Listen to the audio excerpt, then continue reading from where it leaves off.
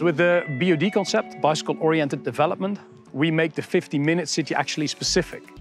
And what we do is uh, we use data to analyze the bicycle accessibility.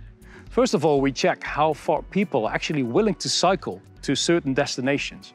And what we found was very interesting is that actually that really differs. So there is no 15-minute city. There's a 7-minute city, there's a 15-minute city, and there's a 20-minute city, depending on the type of destination. And that's one part. And the second part, we use GPS data to really analyze the bicycle accessibility because you can really analyze the network quality uh, very well with GPS data. Um, this data, both sources, we use to actually uh, calculate what we call the BOD score, and that is the bicycle accessibility in a certain city or region. With that starting point, the BOD score, we based on that, we develop scenarios. And these scenarios consist of, for instance, uh, investments in the bicycle infrastructure. So where can you best invest in your network to improve the bicycle accessibility in your city? And secondly, of course, you can also manipulate your city. So you can really think about spatial developments. Where can you best locate them in your city to improve the bicycle accessibility of these different destinations?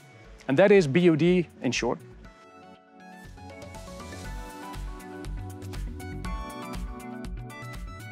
Rotterdam is working on a 15-minute city. and we do that for two reasons. First of all, Rotterdam isn't a typical Dutch cycling city, but cycling is growing fast, 45% the last 10 years. So we have to manage that in our city.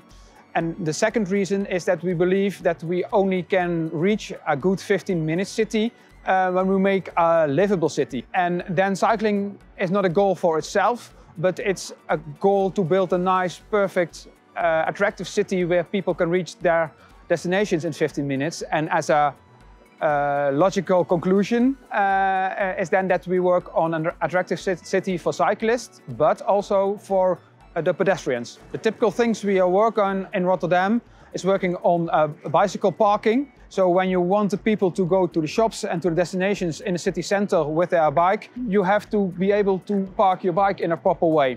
The second thing we do is work on a program to make our cycle lanes wider so that we can uh, better manage the growing amounts of cyclists in Rotterdam. Also, we stimulate people to cycle more, but what's also important are some small category of uh, measures. For instance, uh, when you improve a crossing for cyclists, um, you win time um, at the road. Uh, that's very important in a 15-minute city. But you also um, win time in the experience of the crossing. So in your mindset, uh, your route is even more attractive.